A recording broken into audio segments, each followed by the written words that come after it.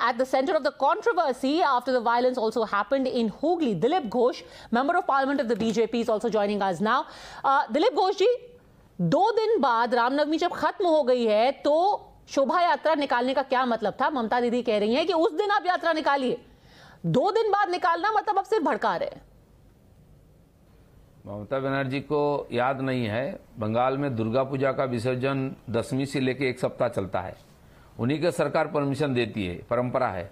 और पूरा देश में रामनवमी से महावीर जयंती तक सात दिन तक उत्सव त्यौहार चलता है और शोभा यात्रा भी चलता है। वो हिंदू परंपरा को भूल चुकी है ना, इसीलिए इस प्रकार बात कर रही हैं। और त्यौहार कब मनाएँगे लोग, ये वो उनको तय करने का अधिकार नहीं है।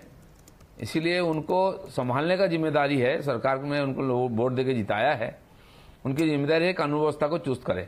अच्छा ये बताइए, क्योंकि आप उस उस यात्रा का हिस्सा थे अभी ये बताया गया है कि जब मस्जिद के सामने से यात्रा निकल रही थी तो कुछ नारे लगाए गए।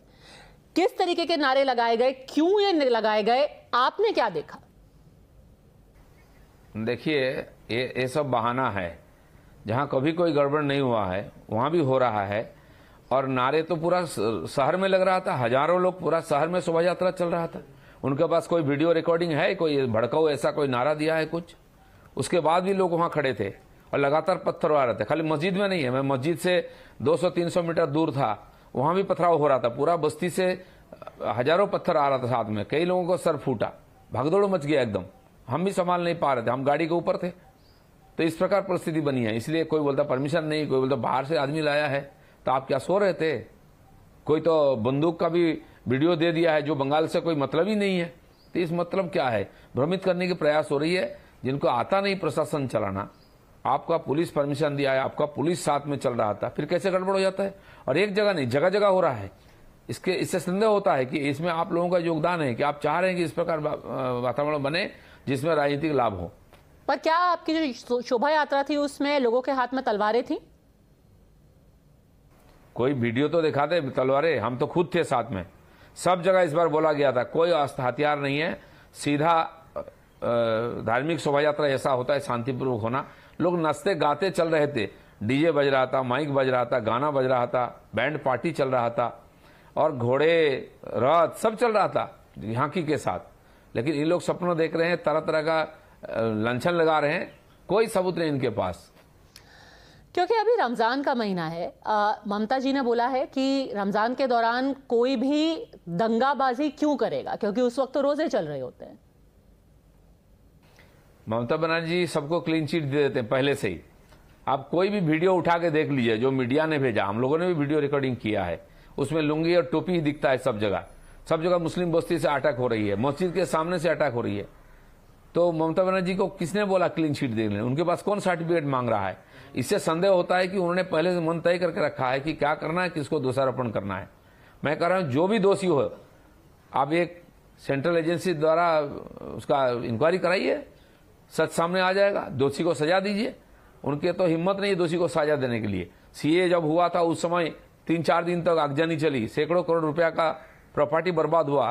ट्रेन चलाया गया, स्टेशन फूका गया, बस जलाया गया, लाइन उखाड़ दिया गया। किसी को एफआईआर नहीं हुआ, किसी को ना डंडा चला, ना किसी का अरेस्ट हुआ। ठीक नूपुर शर्मा वाली घटना में भी बंगाल में तीन दिन तक हंगामा चला। हमारे पार्टी ऑफ़िस जला दिया गया, मंदिर तोड़ा गया, दुकान लूटा गया। कुछ नहीं कार्रवाई की ममता बनर्जी। यही उनकी राजनीति है। एक, एक अपना तपरी अव्यवस्था भय का वातावरण बना करके राजनीतिक लाभ लेना बट देखिए हुगली में जो हुआ क्योंकि आपकी पास में भी आप इस तरीके के प्रोवोकेटिव लैंग्वेज यूज़ करते हैं भड़काऊ भाषण देते हैं और इसीलिए बार बार दंगे होते हैं या बार बार क्लैशेस होते हैं। अरे हम तो एक शब्द भी नहीं बोला है। हम तो खुले जीप के ऊपर जा रहे थे। इतने लोग थे लोग इतने उत्साह में से। हमें भाषण देने की ज़रूरत नहीं है। अगर है ऐसा तो मेरे ऊपर कार्रवाई क्यों नहीं करते हैं? भड़काऊ भाषण देते हैं। एक रिकॉर्डिंग दिखा दे हमको भड़काऊ भाषण दिया। हम ममता बनर्जी के ऊपर बोलते हैं। हम टीएमसी के घटिया नीति और भ्रष्टाचार के खिलाफ बोलते हैं और आगे भी बोलेंगे। पर अगर आप यात्रा निकाल ही रहे हैं तो फिर आप जो अल्पसंख्यक एरियाज़ है, जो माइनॉरिटी एरियाज़ है, उनके थ्रू क्यों निकालते हैं? पूरे प्रदेश में कितने इलाके हैं? किसी और सड़क से आप ले जा सकते हैं। जानबूझ के मस्जिद के सामने से ही क्यों निकालना है? ना, कोई माइनॉरिटी इलाका हो गया, वो क्या प्रोहिबिटेड इलाका है क्या? हम माइनॉरिटी मेजोरिटी नहीं देखते हैं, पूरा समाज को एक देखते हैं। जैसा कि मोहर्रम का जुलूस पूरा बंगाल में घूमता है तो पूरा बंगाल माइनॉरिटी का है क्या? हिंदू बस्ती से नहीं आता है क्या? तब तो कोई इस प्रकार घटना नहीं होती है, कोई दोषारोपण नहीं करता है। केवल मस्जिद के सामने से जाने से पथराव क्यों होता है? उसको क्यों नहीं रोकते हैं वो लोग? मस्जिद है मतलब वहाँ कोई नहीं जाएगा प्रोहिबिटेड जगह हो जाएगा क्या? ये अधिकार किसने दिया उनको? और अगर है भी तो वो हम नहीं मानेंगे। पूरा देश में कहीं भी किसी को जाने का अधिकार है और हिंदू समाज का तो है ही है। आगे भी जुलूस निकालेगा हिंदू समाज और जाएगा। सुरक्षा देने का ज़िम्मेदारी सरकार की है। पर फ़र्क यह है कि मुहर्रम के जो जुलूस निकलते हैं उसमें तलवारें नहीं होती है या फिर उसमें भड़काऊ भाषण नहीं होंगे। किसने बोला? हिंदू मोहल्ले में जाके लाठी तलवार खेला जाता है खुलेआम। ये भड़काऊ नहीं है। ये प्रोवोकेशन नहीं है। रोकने की हिम्मत है उनकी। बंगाल में तो ये भी हुआ है विजयादशमी जिस दिन दुर्गा प्रतिमा का विसर्जन होता है उसी दिन मोहर्रम पड़ा था। तो दुर्गा विसर्जन बंद करके मोहर्रम के लिए अनुमति दिया गया था।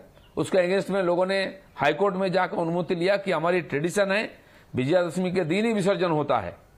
ये तो ममता बनर्जी की शासन है। पता चलता है वो क्या चाह रही हैं। कौन भड़काता है? आखिरी सवाल आपसे ये पूछ रही हूँ। आप कह रहे हैं कि एनआईए प्रोब होना चाहिए, जो वेस्ट बंगाल में हो रहा है। पर महाराष्ट्र में भी हुआ है, बिहार में भी हुआ है, गुजरात में भी हुआ है।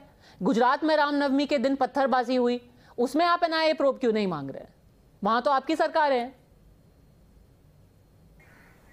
देखिए, वहाँ वायलेंस तो कहीं भी हो सकता है, लेकिन सरकार क्या स्टेप लिया?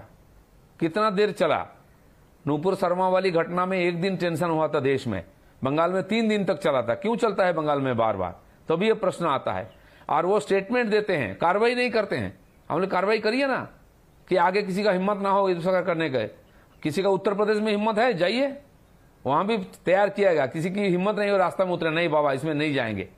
तो प्रशासन ऐसा होता है बदमाश लोग चुप रहते हैं। हमारे गृह मंत्री जी ने बोल दिए हैं कि जो दंगा कर रहे हैं उसको कैसा ट्रीटमेंट किया जाएगा? और आगे ऐसा ही होगा हिंदुस्तान में रह करके इस प्रकार असहिष्णुता दूसरे के ऊपर अटैक करने का जो मानसिकता ये नहीं चलेगा।